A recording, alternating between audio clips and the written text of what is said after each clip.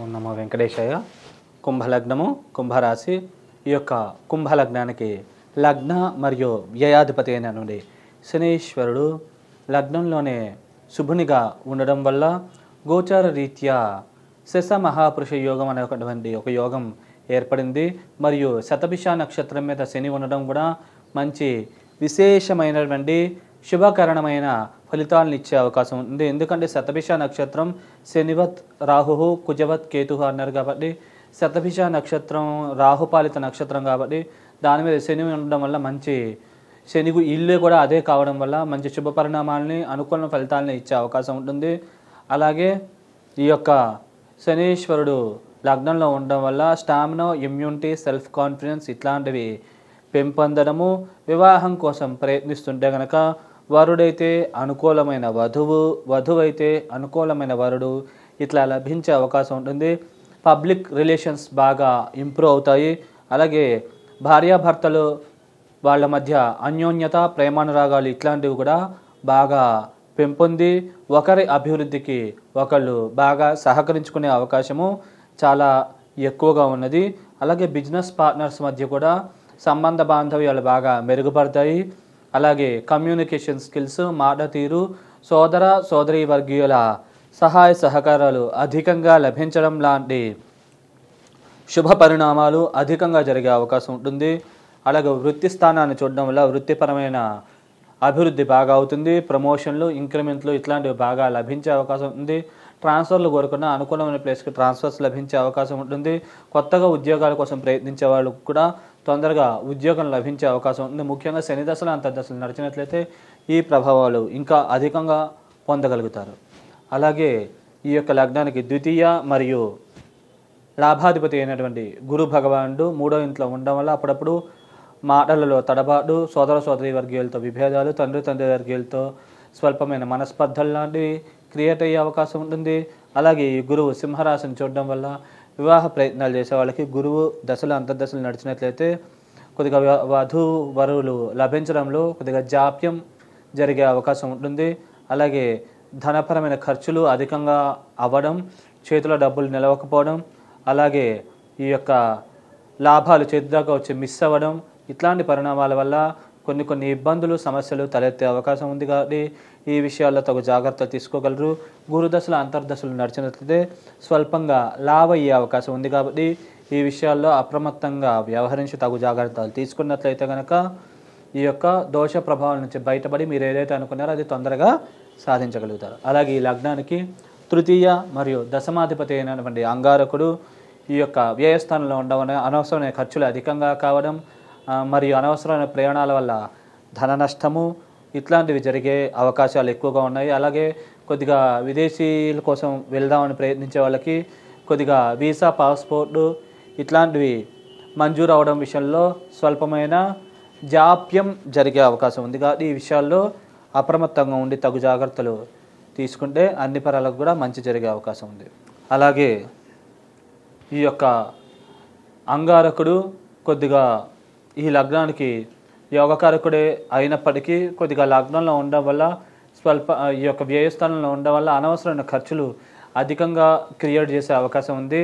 అలాగే కొద్దిగా ఈ యొక్క మూడవ స్థానాన్ని చూడడం వల్ల కొద్దిగా మాట తీరులో కొద్దిగా తడబాటు కొన్ని కొన్ని ఇబ్బందులు సమస్యలు తలెత్తే అవకాశం సోదర సోదరి వర్గీయులతో స్వల్పమైన వైరములు మరియు శత్రురోగ రుణాది పీడలు మరియు అలాగే లోన్లు మంజూరు అవడంలో స్వల్పమైన జాప్యము వివాహ ప్రయత్నాలు చేసే వాళ్ళకు కూడా స్వల్పమైన వివాహపరమైన ఆటంకాలు క్రియేట్ అయ్యే అవకాశం ఉంది కాబట్టి ఈ విషయాల్లో అప్రమత్తంగా జాగ్రత్తగా వ్యవహరించినట్లయితే కనుక ఈ దోష ప్రభావం నుంచి బయటపడి మీరు ఏదైతే అనుకున్నారో అది తొందరగా సాధించగలుగుతారు. అలాగే ఈ యొక్క లగ్నానికి ఈ యొక్క కుజుడు ఈ యొక్క పదిహేనవ తారీఖు నుంచి లగ్నంలోకి రావడం వల్ల స్టామినా ఇమ్యూనిటీ దెబ్బతింటం కొద్దిగా స్వల్పమైన కోపతాపాలకు అధికంగా గురవడం వివాహం కోసం ట్రై చేస్తుంటే కనుక దాని విషయాల్లో కొద్దిగా జాప్యం జరగడము వాహన స్థానాన్ని చూడడం వల్ల కొద్దిగా ఈ యొక్క డ్రైవింగ్స్ విషయంలో కొద్దిగా చిన్న చిన్న ఇబ్బందులు అప్పుడప్పుడు ప్రమాదాలకు గురయ్యే అవకాశాలు కూడా ఉంటాయి. అలాగే ఈ యొక్క ఎనిమిదో స్థానాన్ని చూడడం వల్ల కోర్టు న్యాయ సంబంధమైన విషయాల్లో కూడా కొద్దిగా వ్యతిరేకమైన ఫలితాలు తీర్పులు ఇట్లాంటివి కూడా వచ్చే అవకాశం ఉంటుంది. కాబట్టి ఈ విషయాల్లో అప్రమత్తంగా ఉండి తగు జాగ్రత్తలు తీసుకున్నట్లయితే కనుక ఈ యొక్క దోష ప్రభావం నుంచి బయటపడి మీరు ఏదైతే అనుకున్నారో ఆ యొక్క పనులన్నీ కూడా సకాలంలో సాధించుకోగలుగుతారు. అలాగే ఈ యొక్క లగ్నానికి కేంద్ర కోణాధిపతి రాజయోగ కారకుడైనటువంటి శుక్ర భగవానుడు ఈ యొక్క మకర రాశిలో ఉండడం వల్ల చేసే వ్యయం సద్వ్యయం కావడము దైవికమైన బలం శక్తి పెంపొందడము దైవికమైన పుణ్యకార్యాలు తీర్థయాత్రలు ఇట్లాంటి వాటిల్లో అధికంగా పాల్గొనిన ఆసక్తి కలగడము మరియు భాగ్యాభివృద్ధి మరియు నిల్వధనము పెంపొందడం ఇట్లాంటి పరిణామాలు జరిగే అవకాశం ఉంటుంది. శుక్రదశలు అంతర్దశలు నడిచినట్లయితే లోన్లు తొందరగా మంజూరయ్యే అవకాశం ఉంటుంది. అలాగే ఈ యొక్క అప్పులు ఎవరికైనా ఇచ్చి ఉంటే కనుక ఆ డబ్బులు వసూలు అయ్యే అవకాశం ఉంటుంది. అలాగే మీరు ఎవరికైనా డబ్బులు ఇవ్వాలనుకున్నా కూడా ఆ యొక్క అప్పులు తీర్చగలుగుతారు. అలాగే లోన్లు కూడా బ్యాంక్ లోన్ల కోసం ట్రై చేస్తే అవి కూడా తొందరగా మంజూరయ్యే అవకాశాలు ఉంటాయి. అలాగే ఈ యొక్క శుక్ర భగవానుడు ఈ యొక్క పదిహేనవ తారీఖు నుంచి ఈ యొక్క కుంభరాశిలోకి రావడం వల్ల వివాహ ప్రయత్నాలు చేసే వాళ్ళకి వరుడైతే అనుకూలమైన వధువు వధువు అయితే అనుకూలమైన వరుడు లభించే అవకాశం ఉంటుంది. స్టామినా ఇమ్యూనిటీ లెవెల్స్ పెం- పెంపొందుతాయి.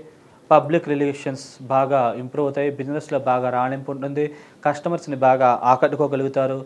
మరియు ఏదైతే అనుకున్నారో అది చేయడానికి తగ్గ పరిస్థితులు పరిపూర్ణంగా ఏర్పడడం లాంటి పరిణామాలు జరిగే అవకాశాలు అధికంగా ఉన్నాయి. అలాగే భార్యాభర్తల మధ్య కూడా అన్యోన్యత ప్రేమానురాగాలు కూడా బాగా పెంపొంది ఒకరి అభివృద్ధికి ఒకళ్ళు సహకరించుకోగలుగుతారు. అలాగే ఈ లగ్నానికి పంచమ మరియు అష్టమాధిపతి అయినటువంటి బుధ భగవానుడు ఈ యొక్క కుంభరాశిలోనే ఉండడం వల్ల వివాహ ప్రయత్నాలు చేసే వాళ్ళకి వధువు అయితే అనుకూలమైన వరుడు వరుడు అయితే అనుకూలమైన వధువు లభించే అవకాశం ఉంది. అన్ని పనులు కూడా యోగించి లాభించే అవకాశం ఉంది. విద్యార్థులు కూడా విద్యలో మార్కులు బాగా ఎక్కువగా సాధించగలుగుతారు. ఆకస్మిక ధనపరమైన వ్యావహారికపరమైన న్యాయపరమైనటువంటి లాభాలు సంఘంలో పేరు ప్రతిష్టలు గౌరవ మర్యాదలు ఇట్లాంటివి బాగా పెంపొంది ఉన్న స్థితి నుంచి ఉన్నత స్థితికి చేరుకోగలుగుతారు.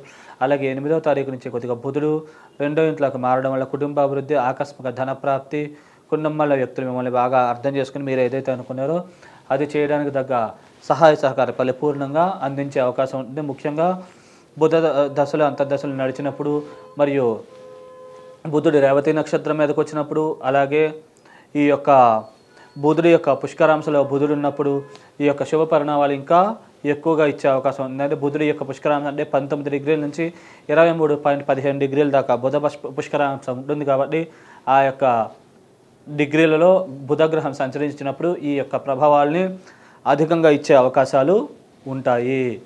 అలాగే ఈ యొక్క కుంభ లగ్నానికి షష్టాధిపతి అయిన చంద్రుడు ఎక్కడ ఉంటే అక్కడ నుంచి వ్యతిరేకమైన ఫలితాలను ఇచ్చే అవకాశం ఉంది కాబట్టి చంద్రదశలు అంతర్దశలు నడిచినట్లయితే తగు జాగ్రత్తలు తీసుకున్నట్లయితే కనుక కన్ఫ్యూజను తీసుకునే నిర్ణయాల తడబాటు ఇట్లాంటి వాటికి గురవకుండా మీరు ఉన్న స్థితి నుంచి ఉన్నత స్థితికి తొందరగా చేరుకోగలుగుతారు. అలాగే సప్తమాధిపతి అయిన సూర్యుడు ఈ లగ్నానికి పాపి యోగకారకుడు కాదు కాబట్టి ఎక్కడ ఉంటే అక్కడి నుంచి అశుభ పరిణామాలనే ఫలితాలను ఇచ్చే అవకాశం ఉంది. కుంభరాశిలో రవి సంచరిస్తూ ఉండడం వల్ల కొద్దిగా చిన్న చిన్న ఇబ్బందులు మానసిక సంఘర్షణ తీసుకునే నిర్ణయాల తడబాటు భార్యాభర్తల మధ్య గొడవలు ఎక్కువ కావడం ఇట్లాంటి పరిణామాలు జరిగే అవకాశం ఉంది. ముఖ్యంగా రవి దశలు అంతర్దశలు నడిచినట్లయితే ఈ యొక్క ప్రభావాలు అధికంగా ఉంటాయి కాబట్టి ఈ విషయాల్లో అప్రమత్తంగా జాగ్రత్తగా వ్యవహరించినట్లయితే ఈ దోష ప్రభావం నుంచి బయటపడగలుగుతారు. అలాగే వేరే వాళ్ళ యొక్క మీ తల్లిదండ్రుల యొక్క అలాగే బంధు మిత్రుల యొక్క సహాయ సహకారాలు మరియు గురువు యొక్క సహకారాలు తీసుకోవడం వల్ల ఈ దోష ప్రభావం నుంచి బయటపడి ఉన్నత స్థితి నుంచి ఉన్నత స్థితికి చేరుకోగలుగుతారు. అలాగే సాధ్యమైనంత వరకు దైవం మీద మనం చేసే పనిని నమ్ముకొని మనం ముందుకు వెళ్ళినట్లయితే కనుక ఈ యొక్క విషయాల్లో మనం సక్సెస్ అయ్యే అవకాశాలు ఎక్కువగా ఉంటాయి. కాబట్టి ఈ సూచనల్ని మీరు పాటించగలరు.